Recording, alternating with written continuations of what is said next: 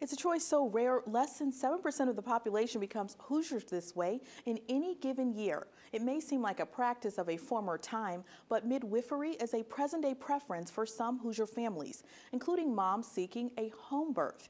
If you're a mom to be seeking a bilingual birth experience, you're likely going to be facing only one face in Indiana.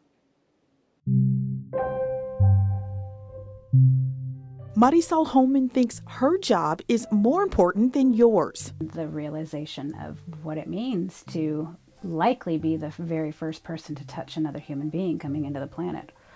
I mean, seriously, there is no other greater honor that I can come up with. Her calling card is her name. But some become just because of me, mm-hmm. because of my name. And she said, Oh, she speaks Spanish. So that was like, I want her.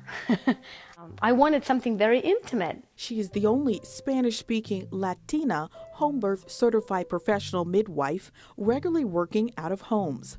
Colombian born Holman is based in Anderson, Indiana, but travels hours around the state to catch babies, as she calls it. Because she knew Spanish and because she was from a, uh, from a South American country, there was a special kind of bonding. I kind of trusted her automatically. With a state as diverse as ever, it may be important to embrace cultural traits and traditions now more than ever. The latest U.S. Census estimates show that from 2010 to 2013, the Hispanic population grew more than any race or ethnic group in the state, with Lake County leading most others in growth. Holman says she wants women of all ethnicities, especially Latinas, to be empowered to know maternal care is not one size fits all. My, my families of color who come usually at the consultation when they come in and sit down then shortly, usually after, there's a you have people that look like me birthing. You know, there's pictures, there's dolls, there's, you know, whatever. Um, and and have said that's just so comforting. I, I need the affirmations that people like us do this. Holman says her fellow midwives in hospitals have just as high a calling, but a 2013 change in Indiana law, House Bill 1135, only recently made the work she does now possible. Recognized midwife assisted home births as legal. Look, you should be able to have your baby wherever you want if you're making an informed decision.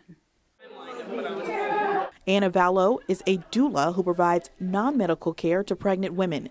As the legislation committee chair for the Indiana Midwives Association, she says culturally competent and thorough training is the loudest call from the midwife community. So, in those cultural type settings, having a care provider who can serve them and respect their needs as well as their wishes and their beliefs, that brings together some continuity for their care. With a woman with brown hair who looked like me. Holman says non nurse midwives preserve cultural preferences of women they serve, but says not all voices in maternal health think home birth is a safe option. The Professional Society of Obstetricians has called home births riskier than hospital births.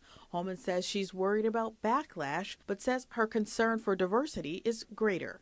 She says only 15% of her clients are black and Latina in Mexico and in Central America and South America. Who's using them now is the very poor because they're very much on the outskirts. Although, in her experience, Latina women aren't as open to the idea of home birth, she thinks even understanding those cultural differences is key to starting dialogue. Daddy. 15 month old Elizabeth Ray is special to her parents, but also statistically rare.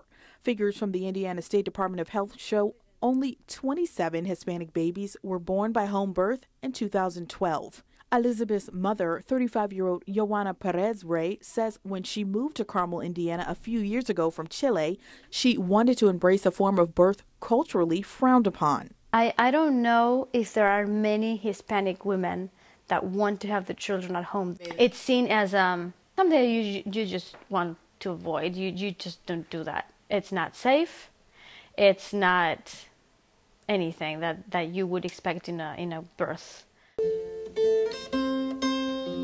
so when i told my friends and my family they were all shocked and like you shouldn't do that. Yeah, my mom said, I don't understand you. You have all these ideas of how a birth should go, in a hospital is that. Elizabeth's mom says having a home birth expert with whom she shared a cultural connection was so invaluable, she's doing it again. Congratulations.